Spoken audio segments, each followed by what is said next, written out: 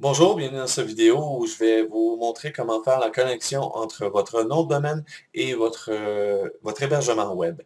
Euh, donc, vous allez sur le site de GoDaddy où a priori je vous ai euh, demandé d'aller pour faire l'acquisition ou créer votre compte pour acheter ou louer votre nom de domaine. Donc, vous allez sur godaddy.com et vous allez cliquer ici sur Sign In. À partir d'ici, vous allez cliquer ici Sign In. Et puis, euh, ici, vous allez rentrer votre euh, nom d'utilisateur ou votre euh, numéro de client. c'est plus facile de se rappeler du username de votre nom d'utilisateur. Donc, entrez votre nom d'utilisateur et puis votre mot de passe. le nom d'utilisateur, faites attention, il doit être écrit de la même façon. Donc, si vous avez écrit des, des majuscules et des minuscules. Euh, il prend en considération euh, la casse des, du, du, nom d'utilisateur. OK? Donc, vous devez inscrire votre nom d'utilisateur comme vous l'avez écrit lors de votre inscription et vous rentrez votre mot de passe et vous cliquez sur Login ici. Ensuite de ça, vous arrivez sur votre compte, vous descendez plus bas ici et euh, vous faites le plus ici à domaine, OK? Et puis, via votre euh, vis-à-vis le nom de domaine que vous voulez connecter à votre hébergement, vous allez ici cliquer sur Launch Et à partir d'ici, vous allez aller sur Name Server. OK? Donc, c'est ici que vous allez faire Manage. Vous allez cliquer sur Custom. Et vous allez faire Add Name Server. Et c'est ici que vous allez entrer vos deux, euh, vos deux hostnames, vos deux euh, noms de serveurs, vos deux name servers que l'on vous a attribués et que l'on vous a donné euh, lors de votre inscription, OK, et qui vous a été envoyé par courriel. Donc, c'est très important de garder ces courriels-là et de peut-être les classer dans un dossier que vous vous êtes créé euh, dans votre euh, dans votre votre application de courriel. Donc, habituellement, et ben, pas habituellement, toujours, les noms de serveurs commencent par ns1. Nom de serveur, .com, on va dire que c'est un .com, donc ça va être ns1, non, votre nom de serveur, .com, donc ici, ça va être ce qui vous a été attribué là, même avec ça ici, là. Donc, il faut vérifier dans votre courriel que vous avez reçu. Donc, vous placez ça là.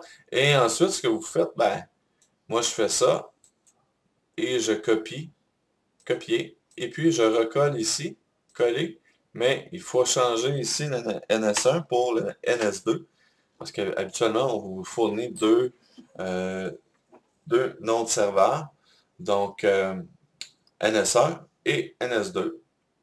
Juste faire attention que, faire bien attention que c'est les, mêmes noms, ok, même nom de serveur. Et puis, à partir de là, ben, vous faites OK. Et Habituellement, ça peut prendre entre, euh, entre 15-20 euh, minutes à peut-être 2 heures que j'ai déjà vu, euh, parce qu'il y a beaucoup de trafic sur le web. si vous êtes à l'heure euh, à l'heure du, souper, là, que tout le monde est à la maison, dans la soirée, euh, ça se peut que ça prenne peut-être un petit peu plus de temps, mais habituellement, ça peut être quand même assez, assez rapide. Là. Et pour savoir si c'est OK, euh, bien, vous allez voir que oui, c'est vrai. dans les name servers, c'est le, le, courriel que vous avez reçu de votre hébergement web. Hein? Donc, pas de GoDaddy, mais de, de HostGator dans les exemples que je vous ai donnés dans les présents, dans les, euh, vidéos précédentes. OK, juste pour en faire la mention, j'ai oublié de le dire.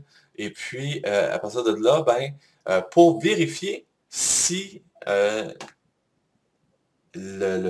configuration a été mise en compte. Donc, si ça fonctionne, donc vous allez taper en haut dans la barre d'adresse le nom de domaine que vous avez acheté. Donc, si vous avez acheté, je ne sais pas moi, le nom de le nom de domaine que vous avez, là, euh, moi c'est Eric Bouchard, donc ericbouchard.com. Bon, ben, je marquerai ericbouchard.com en haut dans la, barre d'adresse.